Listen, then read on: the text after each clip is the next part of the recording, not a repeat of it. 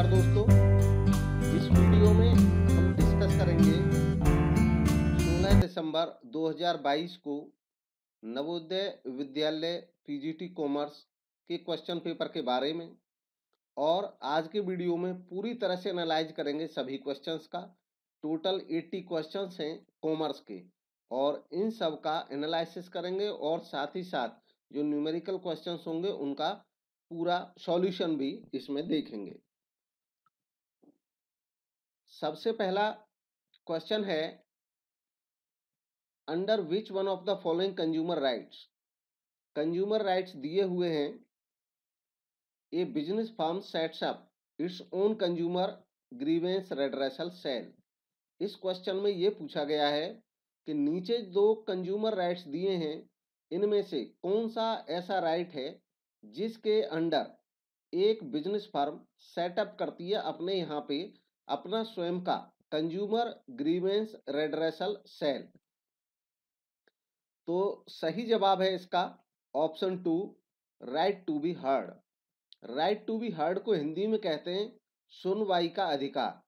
As per consumer protection act एक consumer को ये राइट है कि उसकी पीड़ा को, उसके दुख को सुना जाना चाहिए।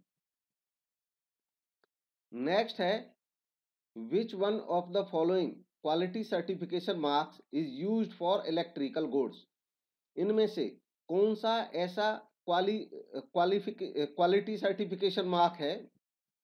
दरअसल इंडिया में कुछ क्वालिटी सर्टिफिकेशन मार्क्स सरकार के द्वारा एडवाइज किए गए हैं, जो अलग अलग प्रोडक्ट पे लगाए जाते हैं और वो इस इस बात का सूचक होते हैं कि यह प्रोडक्ट सर्टिफाइड है, इसकी क्वालिटी अच्छी है बेटर है। तो इलेक्ट्रिकल गुड्स पे इनमें से कौन सा मार्क लगाया जाता है, ये पूछा गया है। सही जवाब है option four, I S I mark लगा हुआ ना, लगा हुआ होना चाहिए। इसके अलावा बहुत सारे ऐसे इक्विपमेंट्स हैं जैसे electrical appliances medical equipment steel product, stainless steel, chemical, fertiliser, cement, LPG cylinder, batteries, etcetera, इन सब पे आईएसआई मार्क लगा होता है। Agmark agricultural related product पे हॉलमार्क गोल्ड और ज्वेलरी पे एफपीओ फ़ूड प्रोडक्शन यानी कि जो खाने पीने के खाद्य पदार्थ होते हैं, उन पे लगा होता है। नेक्स्ट है which one of the following statement is incorrect इनमें से कौन सा स्टेटमेंट इनकरेक्ट है, इसका पहचान करना है।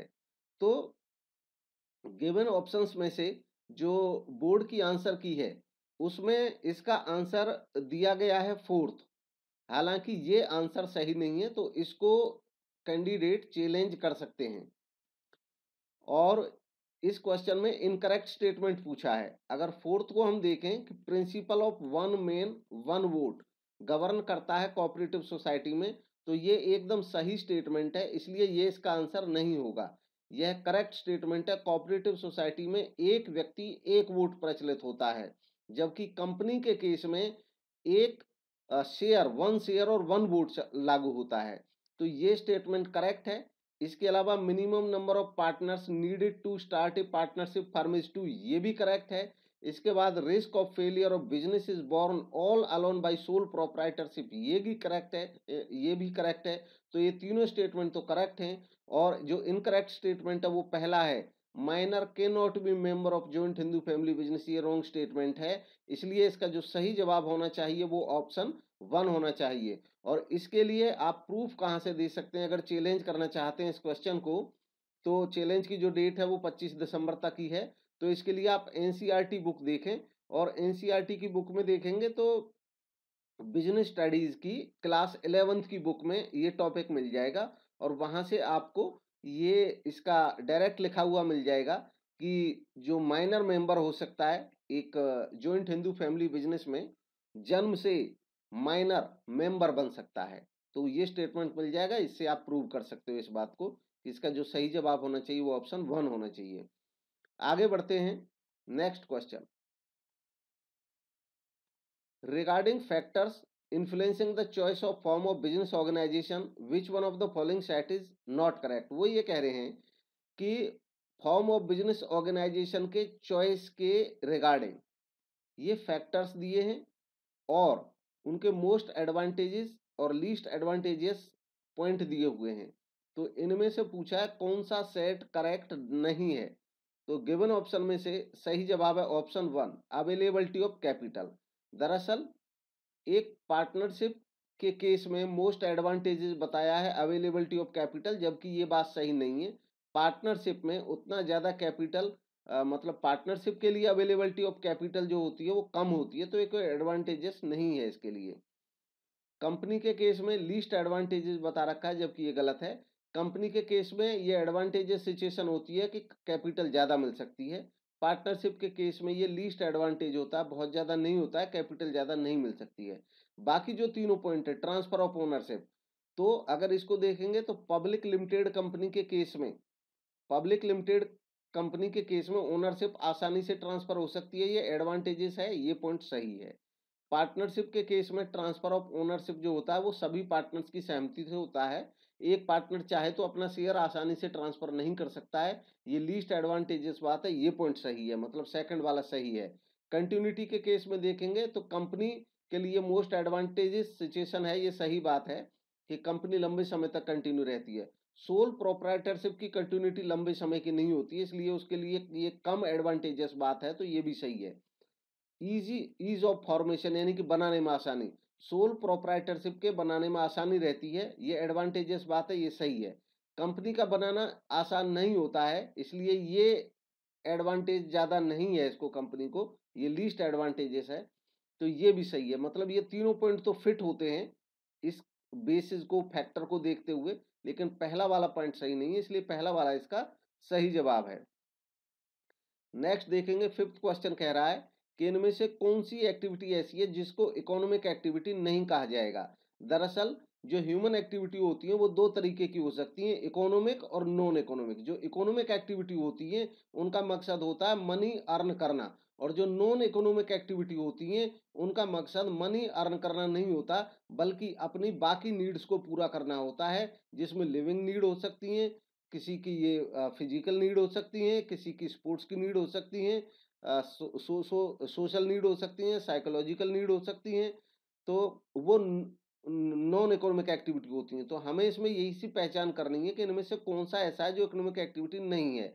तो सही जवाब है ऑप्शन वन, फार्मर अगर ग्रो करता है अपने स्वयं के कंजम्पशन के लिए राइस तो ये इकोनॉमिक एक्टिविटी नहीं है। यहीं पे अगर वो बेचने के लिए राइस ग्रो करता तो इकोनॉमिक हो जाती। बाकी तीनों की तीनों इकोनॉमिक एक्टिविटीज़ हैं। क्योंकि ये तीनों ही पैसा अर्न करने के लिए, अपनी आजीविका चलाने के लिए, गुजारा करने के लिए पैसा लेना चाहते हैं और उसके लिए ये एक्टिविटी कर रहे हैं। नेक्स्ट देखते हैं। Which one of the following causes of risk ये रिस्क के कुछ कॉजेज हैं, कारण हैं रिस्क के। इसमें पूछा है कौन सा ऐसा है जो इकोनॉमिक कॉजेज की कैटेगरी में आता है। तो गिवन ऑप्शंस में से इनमें सही जवाब है option three levy of higher taxes taxes लगाना ये इकोनॉमिक कॉजेज में आता है, बाकी सब इकोनॉमिक कॉज नहीं है। नेक्स्ट है which one of the following is not an example of joint ventures in India इनमें से कौन सा इंडिया के ज्वाइंट वेंचर्स का एग्ज़ाम्पल नहीं है? तो ऑप्शन फोर्थ जो है इंडियन रेलवेज ये भारत सरकार का उपक्रम है। भारत सरकार का इसमें किसी के साथ कोई इंडियन रेलवे में ज्वाइंट वेंचर नहीं है। तो ये इसका एग्ज़ाम्पल नहीं है, बाकी इसके एग्जाम्पल्स हैं ज्वाइंट वेंचर्स के। नेक्स्ट है which one of the following is mainly या popularly categorized as business service इनमें से कौन सा ऐसा है जिसको खास तौर पे बिज़नेस सर्विस के तौर पे कैटेगराइज किया जाता है? तो इस क्वेश्चन का सही जवाब है option one banking insurance warehousing services दरअसल जो सर्विसेज़ होती हैं, उनको क्लासीफाई किया जा सकता है business service personal service social service service किसको प्रोवाइड की जाती है, इसके आधार पे उनको हम क्लासीफाई कर सकते हैं। तो बैंक इंश्योरेंस और वेयर हाउसिंग की सर्विसेज़ बिज़नेस को प्रोवाइड की जाती हैं, इसलिए ये बिज़नेस सर्विसेज़ के अंतर्गत आ जाती हैं। तो एक इसका सही जवाब है।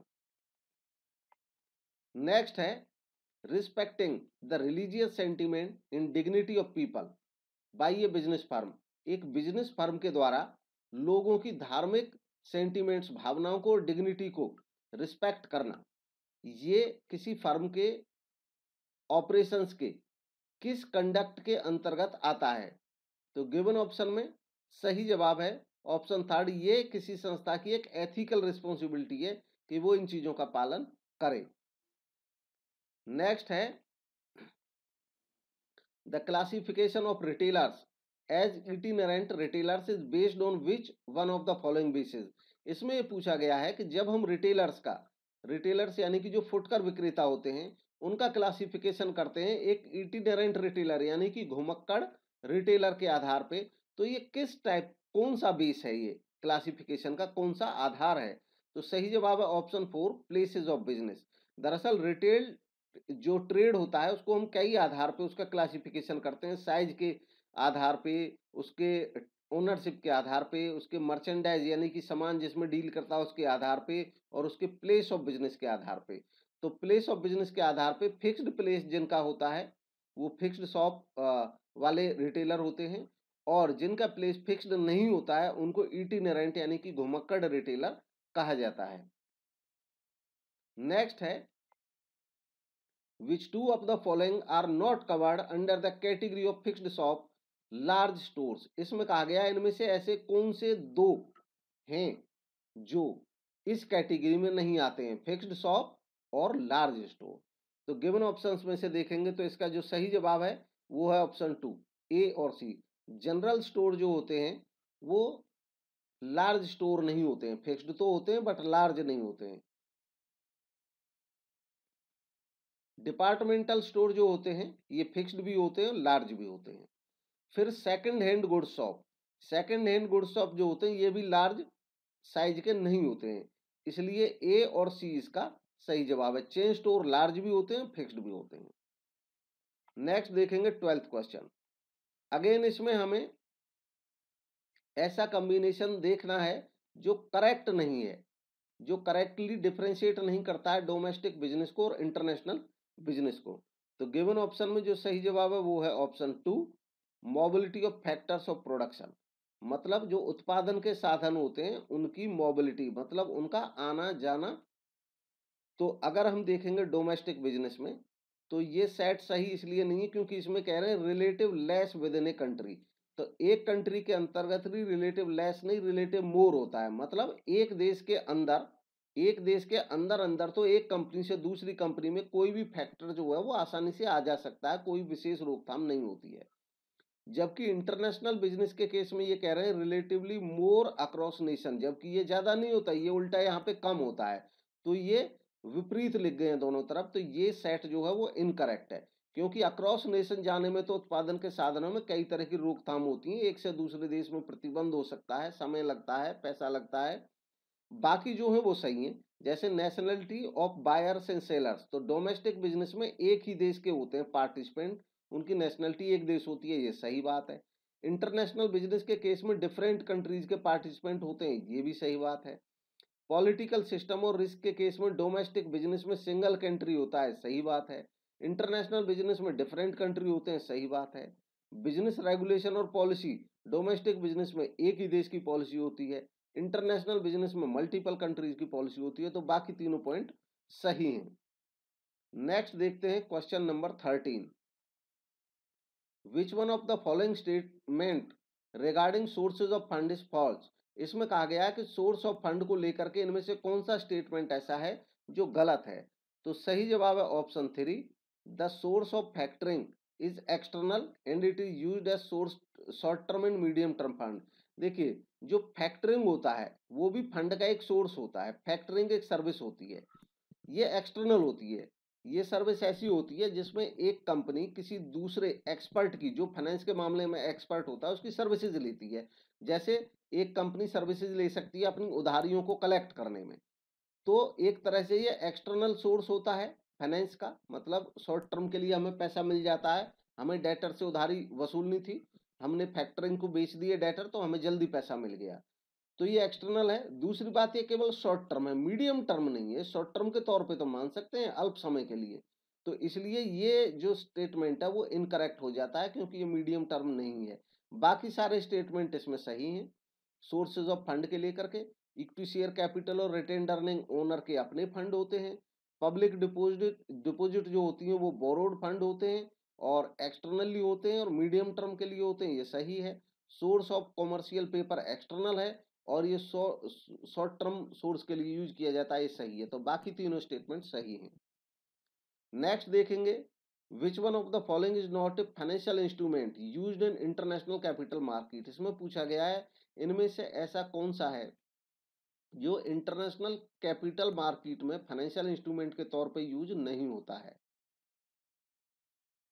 तो आईसीडी इंटर कॉर्पोरेट डिपोजिट ये इंटरनेशनल कैपिटल मार्केट से रिलेटेड नहीं है।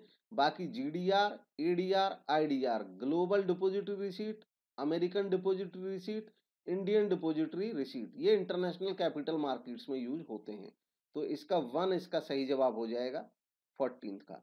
नेक्स्ट है which one of the following is not a money market instrument तो इनमें से जो ऑप्शन थर्ड है, वो सही जवाब है डेवेंचर ये कैपिटल मार्केट का इंस्ट्रूमेंट है मनी मार्केट का नहीं है। मनी मार्केट के शॉर्ट टर्म होते हैं, जो कि commercial paper certificate of deposit treasury bill हैं।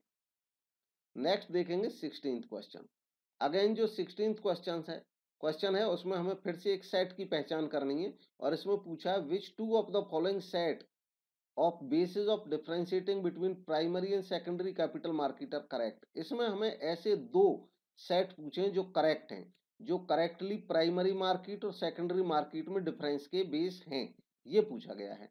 तो गिवन ऑप्शन में जो सही जवाब है, वो है ऑप्शन फोर यानी कि ए और सी अब ए देखें सिक्योरिटी सिक्योरिटी यानी कि प्रतिभूति। तो प्राइमरी मार्केट में न्यू सिक्योरिटी सेल होती है, ये सही बात है।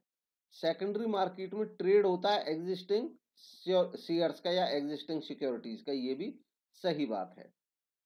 इसके बाद तो ए सही है, उसके बाद सी जो कहता है फ्लो ऑफ़ फंड तो प्राइमरी मार्केट में सेवर से इन्वेस्टर्स को फ्लो होता है मतलब प्राइमरी मार्केट में जो लोग सेव करते हैं पैसा, वो दूसरों को पैसा दे सकते हैं। और नेक्स्ट जो है, enhancing liquidity of shares shares की जो लिक्विडिटी है वो बढ़ जाती है। इसमें कंपनी को कोई फंड नहीं मिलता है, लेकिन शेयर्स आसानी से खरीदे, बेचे जा सकते हैं। तो इसका करेक्ट ऑप्शन ऑप्शन फोर हो जाता है।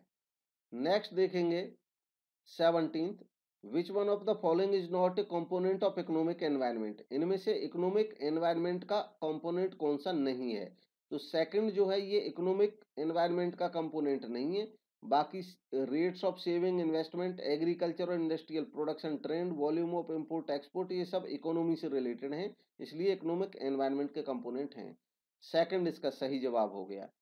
नेक्स्ट देखेंगे एटीन इसमें पूछा गया है फ्री फ्लो ऑफ़ गुड्स और सर्विसेज़ अक्रॉस नेशंस यानी कि एक देश से दूसरे देश के बीच में फ्री फ्लो हो गुड्स का और सर्विसेज़ का, और फ्री फ्लो हो इंफॉर्मेशन का और टेक्नोलॉजी का। ये दोनों स्टेप लीड करते हैं towards which one of the following किस चीज़ के प्रति ये लीड कर रहे हैं? तो सही जवाब है ऑप्शन टू ग्लोबलाइजेशन ग्लोबलाइजेशन का मतलब ये होता है कि हमारे पूरे ग्लोब में एक देश से दूसरे देश में बिज़नेस जो है वो फ्री फ्लो के साथ होता रहे। ये ग्लोबलाइजेशन है। नेक्स्ट देखेंगे। अगेन इसमें हमें मैच करना है। Which one of the following set of philosophy या basis of differentiating between selling concept and marketing concept is incorrect इसमें ये बताना है कि सेलिंग कॉन्सेप्ट और मार्केटिंग कॉन्सेप्ट में ये जो कुछ फिलोसफी या बेस हैं, ये अंतर का आधार है। तो हमें बताना है इनमें से कौन सा कौन सा सेट ऐसा है जो इनकरेक्ट है। तो गिवन ऑप्शंस में से जो इनकरेक्ट स्टेप है, वो है ऑप्शन टू मेन फोकस दरअसल सेलिंग कॉन्सेप्ट में जो मेन फोकस होता है, वो एग्जिस्टिंग प्रोडक्ट पे होता है कि इसको बेचा जाए जैसे तैसे। तो इसलिए इससे तो ये सही है और मार्केटिंग कॉन्सेप्ट में कस्टमर की नीड पे फोकस होता है कि कस्टमर की नीड को सेटिस्फाई किया जाए। तो ये सही नहीं था कॉम्बिनेशन ये एक दूसरे के अगेंस्ट है। मतलब ये इससे रिलेटेड है, ये इससे रिलेटेड है तो ये इधर हो गया एक्सचेंज हो गया है। तो इसलिए ये जो सेट है, ये इनकरेक्ट है। बाकी तीनों सेट करेक्ट है। स्टार्टिंग पॉइंट सेलिंग कॉन्सेप्ट में फैक्ट्री यानी कि माल बनने से शुरू होता है सेलिंग का विचार। मार्केटिंग का विचार मार्केट से शुरू होता है। यानी कि मार्केट में नीड क्या है, तब उसके अकॉर्डिंग फैक्ट्री में सामान बनता है। मीन्स सेलिंग में जो मीन्स है वो सेलिंग और प्रमोटिंग है मतलब सेल करो, प्रमोट करो। मार्केटिंग के जो मीन्स है वो इंटीग्रेटेड मार्केटिंग है। एंड्स यानी कि अंतिम उद्देश्य या लक्ष्य। सेलिंग कॉन्सेप्ट में जो एंड्स है वो प्रॉफिट थ्रू सेल्स वॉल्यूम ये सही बात है। और मार्केटिंग में है प्रॉफिट थ्रू कस्टमर सेटिस्फैक्शन, ये भी सही बात है। तो बाकी तीनों सही थे, इसलिए टू इसका सही जवाब हुआ। नेक्स्ट देखेंगे ट्वेंटियथ स्टार्टलिंग कलर स्कीम, एक मतलब आकर्षक colour scheme, photograph, type face, ये इनमें से कौन से फ़ंक्शन, पैकेजिंग के कौन से फ़ंक्शन के तहत आते हैं? तो सही जवाब है ऑप्शन फोर, प्रोडक्ट प्रमोशन। दरअसल प्रोडक्ट पे आजकल उसका आकर्षक पैकिंग करना, फोटोग्राफ लगाना, ये लोगों को आकर्षित करता है, जिससे प्रोडक्ट का प्रमोशन होता है। प्रोडक्ट प्रमोशन का मतलब होता है कि प्रोडक्ट को बेचने के लिए जो एफर्ट किए जाते हैं। तो चार इसका सही जवाब नेक्स्ट देखेंगे ट्वेंटी वन इंश्योरेंस और हेल्थ केयर मार्केटिंग के पर्पज से ये किस, कौन सी कैटेगरी में फॉल करते हैं, कौन सी कैटेगरी में आते हैं? तो गिवन ऑप्शन में से सही जवाब है ऑप्शन टू सर्विसेज़ में। ये दरअसल सर्विस मार्केटिंग है। मार्केटिंग कई चीज़ों की हो सकती है।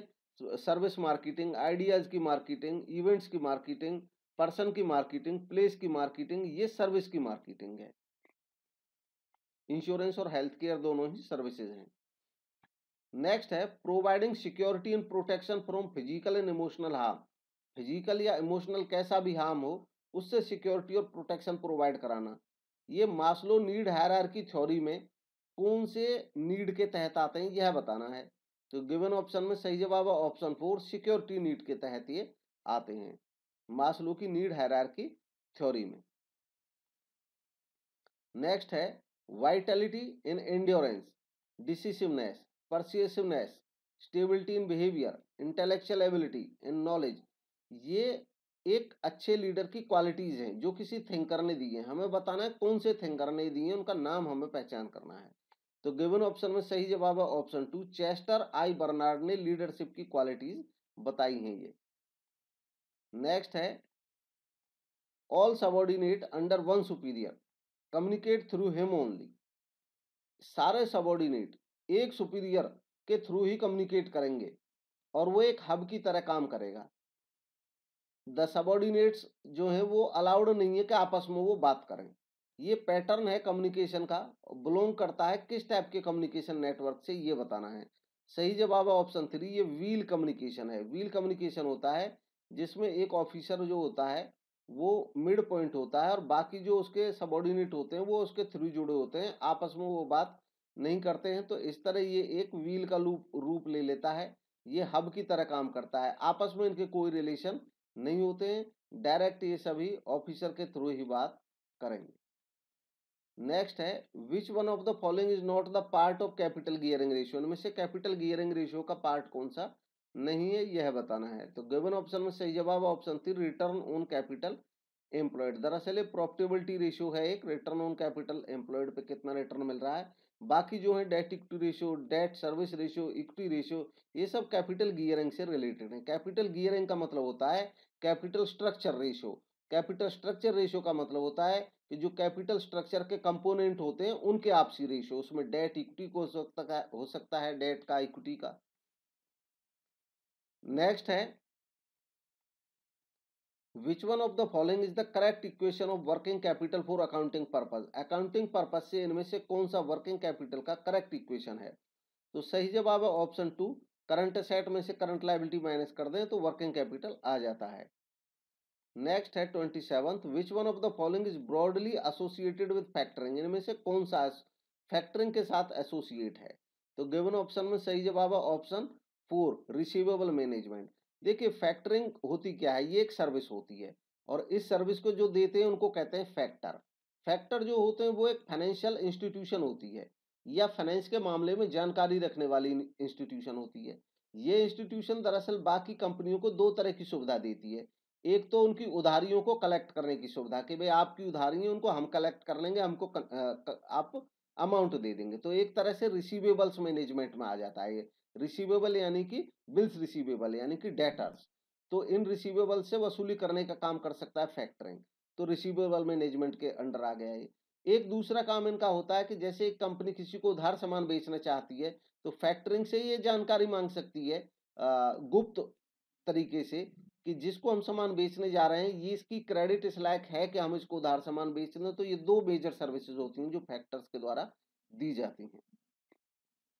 नेक्स्ट है as per Adam Smith's definition working capital is also known as which one of the following Adam Smith की डेफिनेशन के अकॉर्डिंग जो वर्किंग कैपिटल है, उसको इसमें से किसी एक और नाम से जाना जाता है, वो नाम कौन सा है, ये पहचान करना है। तो गिवन ऑप्शंस में सही जवाब है सर्कुलेटिंग कैपिटल एडम स्मिथ जो होते हैं, वो सर्कुलेटिंग कैपिटल के बारे में बताते हैं कि ऐसी कैपिटल है जो सर्कुलेट करती रहती है। नेक्स्ट है which one of the following is not the part of current set इनमें से कौन सा करंट सेट का पार्ट नहीं है? तो गिवन ऑप्शन का सही जवाब है option three preliminary expenses preliminary expenses दरअसल एक फिक्टिशियस असेट होती है, जो वास्तव में एसेट होती ही नहीं है। एक एक्सपेंस होता है जो कि अभी तक रिटर्न ऑफ़ नहीं हुआ है। बाकी work in progress interest accrued loose tools ये सब करंट सेट के पार्ट हैं। लूज टूल्स जो होता है ये इन्वेंट्री के अंतर्गत आता है और इन्वेंट्री करंट असेट का पार्ट है। कंपनी की जो बैलेंस शीट होती है, उसके नए फॉर्मेट के अकॉर्डिंग करंट असेट्स, जो मेजर हेडिंग होती है एसेट पार्ट में, उसके अंतर्गत इन्वेंट्री आ जाती है और इन्वेंट्री के अंतर्गत लूज टूल्स आ जाते हैं। नेक्स्ट है, दो स्टेटमेंट दिए हैं, क्वेश्चन नंबर थर्टी में, और हमें बताना है कौन सा कोड करेक्ट है।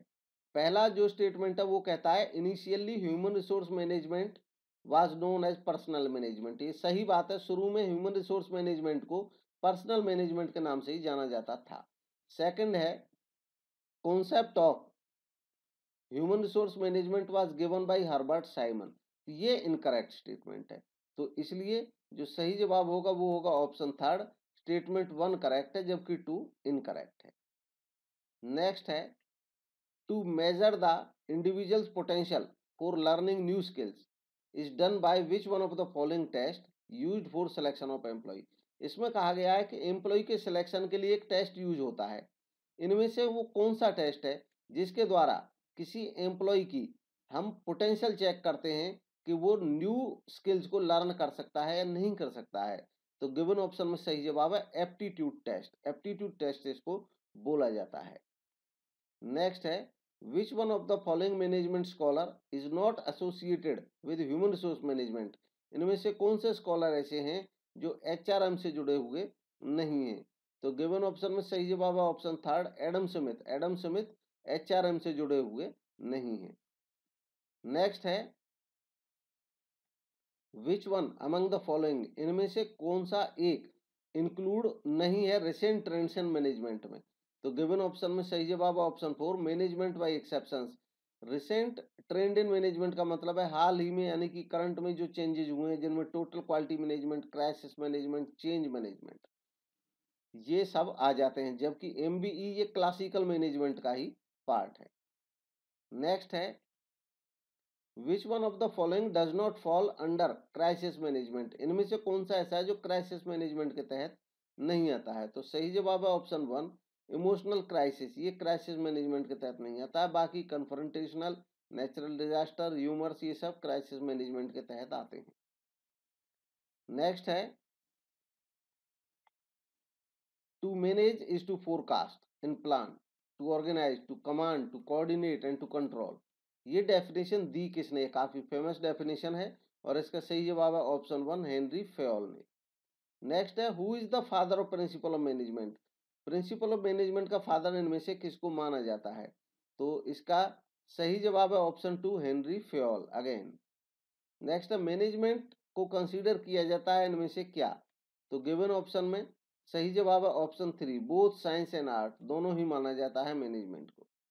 Who developed the CPM method of control इनमें से किसने कंट्रोलिंग का सीपीएम मेथड डेवलप किया? तो सही जवाब है इसका ऑप्शन टू, दरअसल ड्यू पॉइंट कॉरपोरेशन थी जिसको श्रेय जाता सीपीएम मेथड को डेवलप करने का। नेक्स्ट है, ये एक प्रोजेक्ट मैनेजमेंट की टेक्निक है, जो क्रिटिकल पाथ मैनेजमेंट के नाम से जानी जाती है। नेक्स्ट है, किसने कहा कि planning is a trap, lead down to capture the future, कि प्लानिंग भविष्य को कैप्चर करने का एक ट्रैप है। इनमें से ये किस थिंकर ने कहा है? तो सही जवाब है option third L A L N next है, इनमें से कौन सा राइट सीक्वेंस है स्टाफिंग की एक्टिविटीज़ का? तो गिवन ऑप्शन में ऑप्शन में से जो सही जवाब है, वो है ऑप्शन टू रिक्रूट करना सबसे पहले रिक्रूटमेंट स्टार्ट होता है। फिर जो लोग रिक्रूटमेंट के तहत अप्लाई करते हैं, उनको सिलेक्ट किया जाता है उनमें से कुछ लोगों को। जिनको सिलेक्ट किया जाता है, उनको बाद में प्लेसमेंट दिया जाता है मतलब उनको जॉब कोई सौंपी जाती है, प्लेसमेंट के बाद उनको इंडक्शन ट्रेनिंग कराई जाती है। नेक्स्ट है तो सेकंड इसका सही जवाब था। नेक्स्ट है who was the third partner is Garner versus Murray case Garner versus Murray case में तीसरा पार्टनर कौन था, ये बताना है। तो गिवन ऑप्शन में सही जवाब ऑप्शन थ्री विल्किंस दरअसल गार्नर और मरे और विल्किंस तीन पार्टनर थे, जिनके ऊपर ये केस फ़ेमस है। नेक्स्ट है in which of the following year इनमें से किस वर्ष में इंडियन पार्टनरशिप एक्ट इनेक्ट हुआ बना? तो गिवन ऑप्शन में सही जवाब है ऑप्शन थ्री 1932 नेक्स्ट दो स्टेटमेंट दिए हैं अगेन और सही कोड का इनमें से चुनाव करना है। तो पहला जो स्टेटमेंट है वो कहता है इन्फ्लेशन अकाउंटिंग प्रैक्टिस है एडजस्ट करने की फाइनेंशियल स्टेटमेंट को प्राइस इंडेक्सेस के साथ। तो ये सही स्टेटमेंट है। नेक्स्ट है numbers are restated to reflect current values in hyper inflationary business environment मतलब जब बहुत इन्फ्लेशनरी ज़्यादा महँगाई होती है तो उस समय नंबर्स को रीस्टेट किया जाता है ताकि वो करंट वैल्यूज़ को शो करें फाइनेंशियल स्टेटमेंट्स में।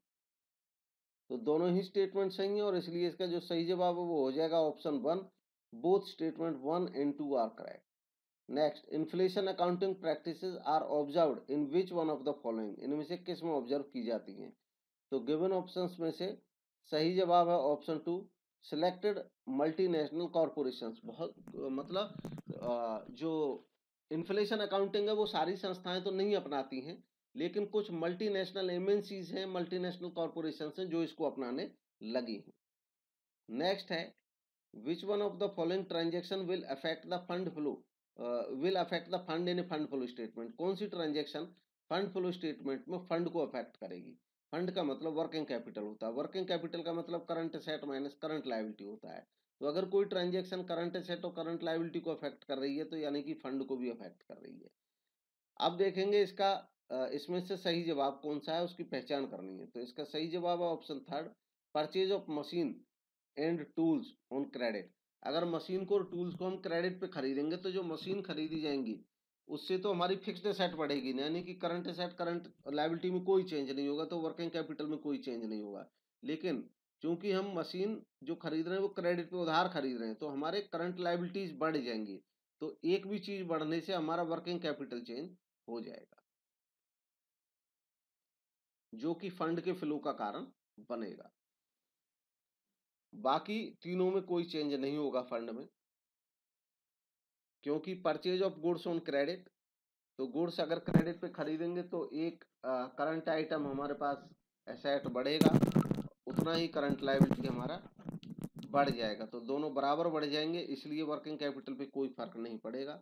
Sale of goods and credit, यही सवाल यहाँ पे भी लागू होता है। Deposit cash into bank, ये दोनों ही करंट एसेट हैं, कोई चेंज नहीं आएगा। तो इस तरीके से ऑप्शन थ्री इसका सही जवाब है। नेक्स्ट है forty six. Which one of the following transaction will not affect the funds in a fund flow statement इनमें से कौन सा ट्रांजेक्शन ऐसा है जो फंड फ्लो स्टेटमेंट में फंड को अफेक्ट नहीं करेगा? अब ये पूछा है और सही जवाब है option one issue of share in consideration of purchasing machine and tool machine और टूल खरीदने के बदले में अगर शेयर इशू कर दिए जाए तो ना फंड आएगा, ना फंड जाएगा, कोई चेंज नहीं होगा। नेक्स्ट है which one of the following is not a human resource accounting approach इनमें से कौन सा? ह्यूमन रिसोर्स अकाउंटिंग का अप्रोच नहीं है, यह पहचान करनी है। तो सही जवाब है option one dynamic cost approach नहीं है। बाकी हिस्टोरिकल कॉस्ट अप्रोच है रिप्लेसमेंट कॉस्ट अप्रोच है अपॉर्चुनिटी कॉस्ट अप्रोच है। इसके अलावा एक स्टैंडर्ड कॉस्ट मेथड भी है। नेक्स्ट है the net benefit model of human resource accounting is also known है। किस नाम से भी इसको जाना जाता है? तो सही जवाब है ऑप्शन टू जो मॉर्से मॉडल मॉर्से मॉडल को नेट बेनिफिट मॉडल भी कहा जाता है। नेक्स्ट है who among the following has given the equation of human resource accounting ये ह्यूमन रिसोर्स अकाउंटिंग की इक्वेशन टी वी बराबर एन इंटू आर की पावर एन इंटू टी की पावर एन इंटू वी ये ये जो फॉर्मूला है, ये किसने दिया है? ह्यूमन रिसोर्स अकाउंटिंग में। तो इसका सही जवाब है option one Jaggi and Lau का दिया हुआ ये फॉर्मूला है। इसमें ये ह्यूमन की वैल्यू जो है किसी ऑर्गेनाइजेशन के जो ह्यूमन रिसोर्सेज हैं, उनकी वैल्यूएशन करते हैं। नेक्स्ट है how will you compute average capital employed कैसे कंप्यूट करेंगे? तो कैपिटल एम्प्लॉयड ओपनिंग का और कैपिटल एम्प्लॉयड बिगिनिंग ओपनिंग का और क्लोजिंग का दोनों का टोटल कर लेंगे और दो से डिवाइड कर देंगे तो एवरेज आ जाएगा। नेक्स्ट है which among the following is also known as financial structure of a firm इनमें से कौन सा ऐसा है जिसको फर्म का फाइनेंशियल स्ट्रक्चर भी कहा जाता है? तो सही जवाब option one liability side of balance sheet दरअसल बैलेंस शीट के अगर हम लाइबिलिटी साइड में लाइबिलिटी साइड में जो लॉन्ग टर्म लाइबिलिटीज हैं और कैपिटल कैपिटल और लॉन्ग टर्म लाइबिलिटीज अगर केवल इनको शामिल करेंगे तो एक कैपिटल स्ट्रक्चर है। लेकिन अगर हम इसमें करंट लाइबिलिटीज को भी शामिल करें इन सबका कंपोजिशन जब देखते हैं तो उसको कहते हैं फाइनेंशियल स्ट्रक्चर नेक्स्ट है how will you compute average collection period average collection period किस तरीके से कंप्यूट करेंगे? तो सही जवाब है option one three sixty five days को डिवाइड कर देंगे रिसीवेबल टर्नओवर रेशियो से या डेटर टर्नओवर रेशियो से. तो हमारे पास एवरेज कलेक्शन पीरियड निकल आएगा. नेक्स्ट है which of the following is another name of acid test ratio इनमें से एसिड टेस्ट रेशियो का दूसरा नाम और क्या है? तो सही जवाब है ऑप्शन टू क्विक रेशियो भी इसको कहा जाता है लिक्विड रेशियो भी इसको कहा जाता है। नेक्स्ट है which of the following is not included in the cost of production इनमें से कौन सा ऐसा है जिसको कॉस्ट ऑफ़ प्रोडक्शन में शामिल नहीं किया जाता है? तो जो गिवन ऑप्शन है, ये क्वेश्चन भी रॉन्ग है और इसको भी चैलेंज किया जा सकता है। दरअसल डायरेक्ट एक्सपेंसेस और डायरेक्ट मटेरियल, ये तो प्राइम कॉस्ट में शामिल हो जाते हैं। फैक्ट्री ओवरहेड, ये फैक्ट्री कॉस्ट में शामिल हो जाएगी और ऑफ़िस और एडमिनिस्ट्रेशन ओवरहेड भी जब जोड़ देते हैं, तब आता है cost of production, office and administration overhead जोड़ने के बाद। इसमें ये कह रहे हैं which of the following is not included in cost of production तो कॉस्ट ऑफ़ प्रोडक्शन में तो ये सारी ही चीज़ शामिल रहती हैं।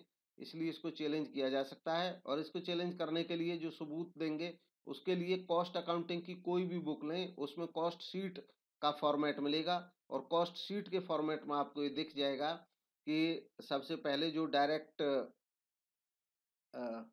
एक्सपेंसेस या डायरेक्ट मटेरियल, डायरेक्ट लेबर है, उसको जोड़ करके प्राइम कॉस्ट आ जाती है। उसके बाद फैक्ट्री ओवरहेड जोड़ते हैं तो वर्क कॉस्ट या फैक्ट्री कॉस्ट आ जाती है। उसके बाद ऑफ़िस ओवरहेड या एडमिनिस्ट्रेशन ओवरहेड जोड़ते हैं तो कॉस्ट ऑफ़ प्रोडक्शन आ जाता है। उसके बाद सेलिंग एक्सपेंसेस को जोड़ते हैं तो कॉस्ट ऑफ़ सेल आ जाता है। नेक्स्ट है फिफ्टी फाइव। इसमें अगेन दो स्टेटमेंट दिए हैं। और जो सही कोड है उसका हमें निशान लगाना है। तो पहला जो स्टेटमेंट है ये कहता है R D B M S, relational database management system. रखता है additional significant advantage, hierarchical database के ऊपर। बीइंग नॉन नेविगेशनल, क्योंकि ये एक नॉन नेविगेशनल डेटाबेस है। सेकंड तो ये स्टेटमेंट सही है।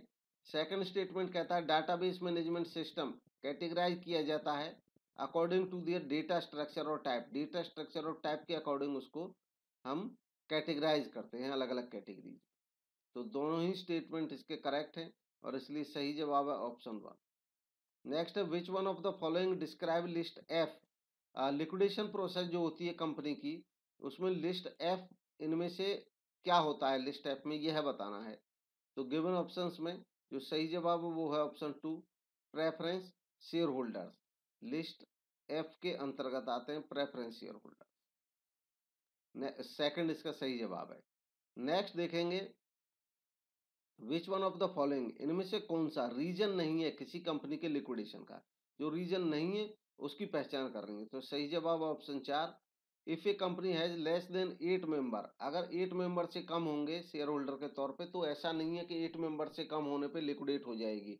पब्लिक कंपनी में मिनिमम सात मेंबर हो ही सकते हैं प्राइवेट में मिनिमम दो हो सकते हैं, और अब तो ओपीसी कंपनी में एक मेंबर भी हो सकता है।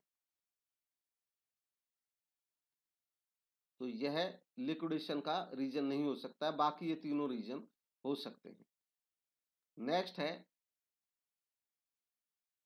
which one of the following is not a popular accounting software in India इनमें से कौन सा? इंडिया में पॉपुलर अकाउंटिंग सॉफ्टवेयर नहीं है। सही जवाब है ऑप्शन वन स्टाटा स्टाटा जो है, ये एक स्टैटिस्टिकल सॉफ्टवेयर है रिसर्चर्स के काम आता है। बाकी बिज़ी माई बुक व्यापार, ये तीनों अकाउंटिंग में काम आते हैं अकाउंटिंग के सॉफ्टवेयर से नेक्स्ट है which one of the following is the most appropriate limitation of computerised accounting system computerised accounting system की इनमें से मोस्ट अप्रोप्रिएट लिमिटेशन कौन सी है?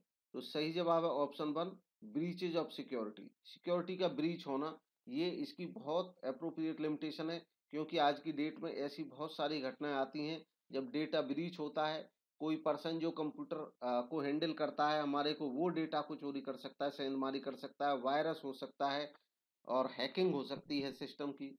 तो ये एक सबसे जो वाजिद खतरा है है।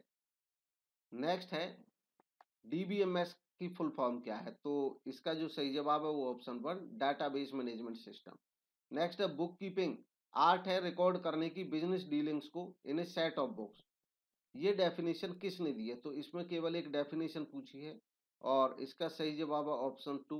J R Batliboi की ये डेफिनेशन है। नेक्स्ट है the person who first publish the principles of double entry system. वो पर्सन जिसने सबसे पहले डबल एंट्री सिस्टम के प्रिंसिपल्स पब्लिश किए।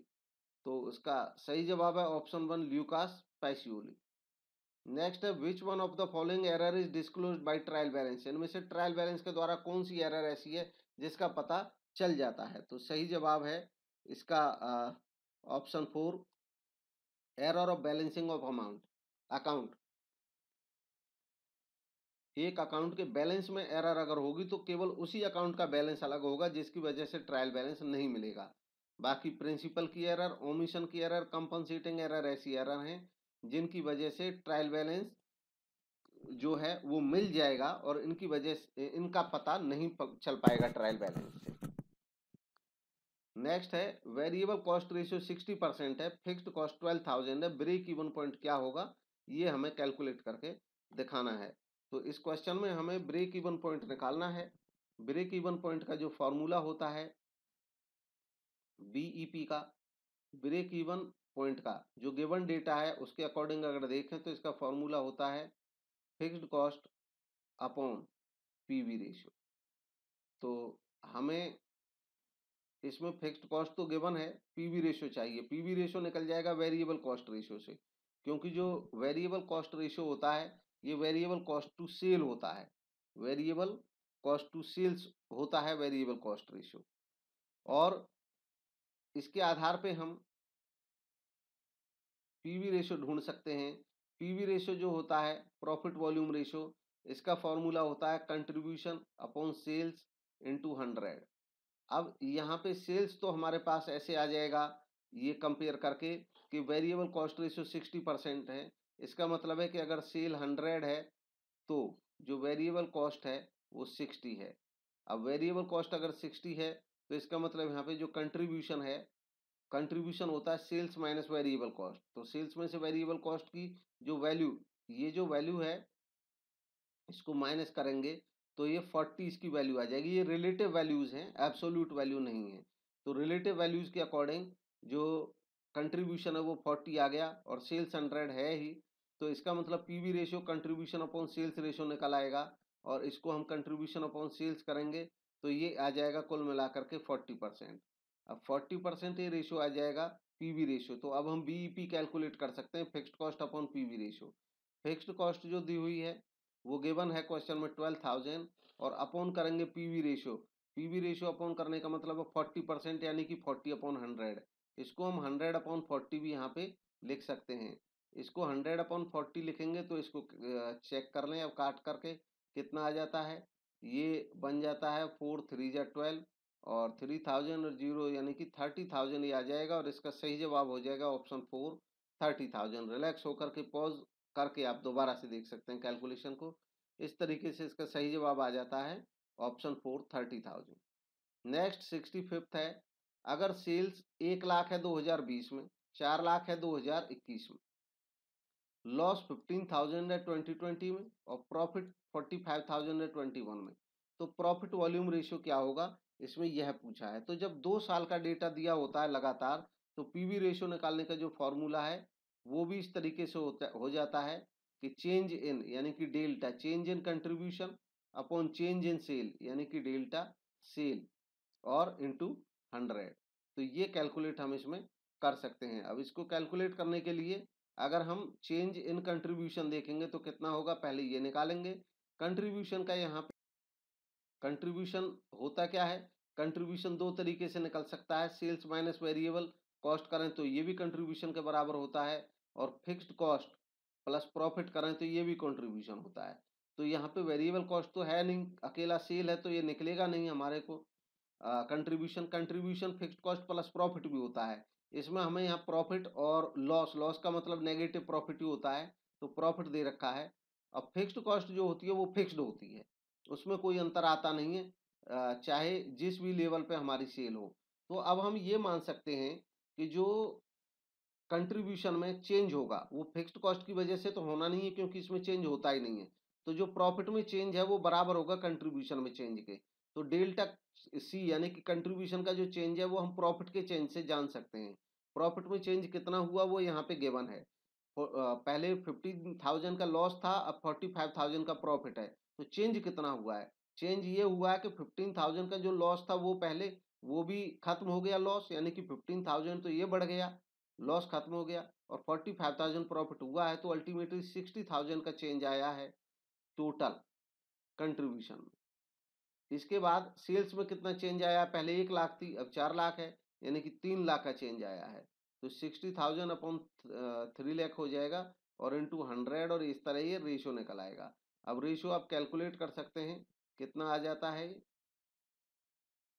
इसको करेंगे ट्वेंटी से तो ये आ जाएगा ट्वेंटी परसेंट। तो इसलिए इसका सही जवाब आ जाएगा निकल करके twenty percent option two. Next देखेंगे। Sixty six, total of prime cost and factory overhead is called. Prime cost में अगर फैक्ट्री ओवरहेड और जोड़ दिए जाए तो क्या आ जाएगा? तो इसका सही जवाब हो जाएगा ऑप्शन टू, इसको फैक्ट्री कॉस्ट या वर्क कॉस्ट के नाम से जाना जाता है। नेक्स्ट है सिक्सटी सेवन। इसमें पूछा है in contract account, the amount of work in progress consist of. Contract account में जो वर्क इन प्रोग्रेस का अमाउंट है, उसमें क्या क्या शामिल होता है? तो सही जवाब होगा इसका option three cost of work certified या अनसर्टिफाइड। वर्क इन प्रोग्रेस का मतलब होता है ऐसा वर्क जो भी प्रोग्रेस में है तो उसमें कुछ वर्क सर्टिफाइड हो सकता है जिसको सर्टिफाई कर देगा इंजीनियर या आर्किटेक्ट और जिसको नहीं करेगा वो अनसर्टिफाइड बच जाएगा। तो ये दोनों ही इसका हिस्सा रहते हैं। नेक्स्ट है sixty eight. The system of recording transaction based on dual aspect concept is called. तो इस सिस्टम को कहा जाता है double entry system, option third इसका सही जवाब होगा। डुअल एस्पेक्ट के आधार पर इसमें रिकॉर्ड किया जाता है ट्रांजेक्शन को। नेक्स्ट है sixty ninth court can make an order to dissolve the firm when अब कोर्ट एक फर्म को डिजोल्व करने का ऑर्डर कब दे सकता है? तो गिवन ऑप्शन में केवल एक सही जवाब है option one any partner become fully mad अगर कोई पार्टनर पूरी तरह से मैड या इंस्टॉलमेंट हो जाए तो एक दूसरा पार्टनर जब अप्रोच करेगा कोर्ट को तो कोर्ट इस फर्म को डिजोल्व करने का आदेश दे सकता है। बाकी तीनों ऐसा कोई कारण नहीं है तो एक इसका सही जवाब है। नेक्स्ट देखेंगे। At the time of retirement of any partner जब कोई भी पार्टनर रिटायर होगा तो रिवॉल्यूशन का जो प्रॉफिट होगा, वो क्रेडिट किया जाएगा इनमें से किस तरीके से? तो गिवन ऑप्शन में जो सही जवाब है, वो है ऑप्शन टू कैपिटल अकाउंट्स में सभी पार्टनर्स के में ओल्ड प्रॉफिट शेयरिंग रेशियो में ट्रांसफ़र कर दिया जाएगा। कारण ये है कि ये अब तक जब कोई पार्टनर रिटायर हो रहा है तो वो छोड़ के जा रहा है तो अब तक इन्होंने जितना भी कमाया था वो पुराने रेशियो में कमाया था तो रेवोल्यूशन का जो भी प्रॉफिट होगा, वो पुराने रेशियो में ही दिया जाएगा और सभी को दिया जाएगा। चाहे रिटायरमेंट हो, चाहे डेथ हो। नेक्स्ट है seventy first question shares on which there is no pre fixed rate of dividend is decided ऐसे शेयर जिन पे कोई पहले से फिक्स्ड रेट ऑफ़ डिविडेंड नहीं है, बल्कि जो रेट ऑफ़ डिविडेंड है, वो फ्लक्चुएट करता रहता है हर साल और वो भी डिपेंड करता है अवेलेबिलिटी ऑफ़ प्रॉफिट पे। ऐसे शेयर्स को क्या कहा जाता है? तो सही जवाब है ऑप्शन थर्ड, इक्विटी शेयर्स की ये खूबी है। इक्विटी शेयर जो होते हैं वो रेजिडुअल ओनर्स कहे जाते हैं, इसलिए उनका जो रेट है वो बदलता रहता है, कोई फिक्स नहीं रहता है। डिविडेंड का। नेक्स्ट है when a company issue share at premium amount of premium may be received by the company अगर कोई कंपनी अपने शेयर प्रीमियम पे इशू करे तो जो प्रीमियम का पैसा है वो मिलेगा कब? तो गिवन ऑप्शंस में से सही जवाब है option four along with any of the above वो एप्लीकेशन पे, अलॉटमेंट पे या कॉल्स के कभी भी मिल सकता है। नेक्स्ट है, एक कंपनी ने फॉरफिट किए तीन सौ शेयर, दस रुपए का एक था जिसपे आठ रुपये पर शेयर कॉल्ड अप था।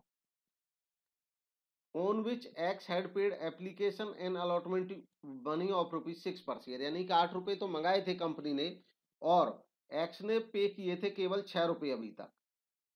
केवल छह रुपये पे किए थे। शेयर फॉरफीचर अकाउंट कितने से क्रेडिट होगा? तो जितने रुपए पे कर रखे होते हैं, उतने ही फॉरफिट हो सकते हैं। तीन सौ शेयर हैं।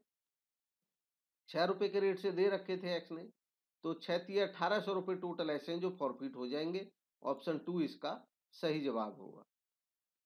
Next amount of discount on reissue of forfeited share can not exceed तो सही जवाब है option third the amount received on forfeited share एक कंपनी जब शेयर इशू करती है तो कंपनीज़ एक्ट 2013 के अकॉर्डिंग कोई कंपनी डिस्काउंट पे शेयर इशू नहीं करेगी। बट अगर किसी कंपनी के कुछ शेयर फॉरफिट हो चुके हैं और वो फॉरफिट के बाद उनको फिर से इशू करती है री इशू कर सकती है तो ऐसे केस में ये राहत है कि जितना ऐसे शेयर्स पे कंपनी ने फॉरफिट कर रखा है, उतने तक डिस्काउंट री इशू के समय पे केवल दी जा सकती है। नेक्स्ट है ऐसे डिवेंचर्स जिनका प्रिंसिपल अमाउंट रिपेबल नहीं है कंपनी के द्वारा उसके पूरे लाइफ टाइम के दौरान। पेमेंट किया जाएगा केवल जब कंपनी समाप्त होगी ऐसे डिवेंचर्स को क्या कहा जाता है? तो सही जवाब है ऑप्शन थर्ड इरिडीमेबल डिवेंचर्स ऐसे डिवेंचर्स को इरिडीमेबल डिवेंचर्स या परपेचुअल डिवेंचर्स भी कहा जाता है। हालाँकि इंडिया में कोई कंपनी अब इरिडीमेबल डिवेंचर इशू नहीं कर सकती है। ज़्यादा से ज़्यादा दस साल के अंतर्गत रिडीमेबल डिवेंचर कंपनी इशू कर सकती है।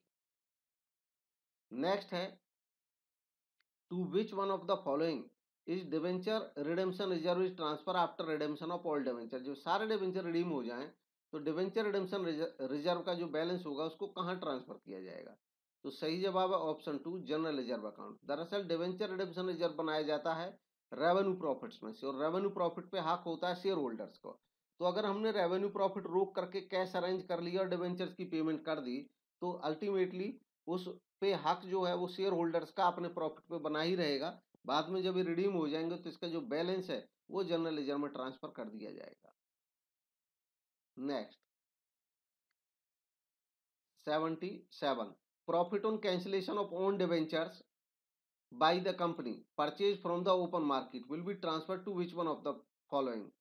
In, कोई कंपनी अपने स्वयं के डिवेंचर्स को कैंसिल करती है मार्केट से खरीद के। उन पे अगर कोई प्रॉफिट होता है तो उसको कहाँ ट्रांसफ़र किया जाएगा?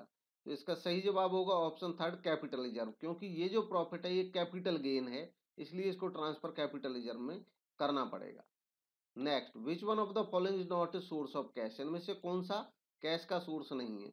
तो सही जवाब है option two purchase of machinery machinery purchase करेंगे तो कैश बाहर जाएगा आउटफ्लो होगा तो वो यूज़ ऑफ़ कैश है।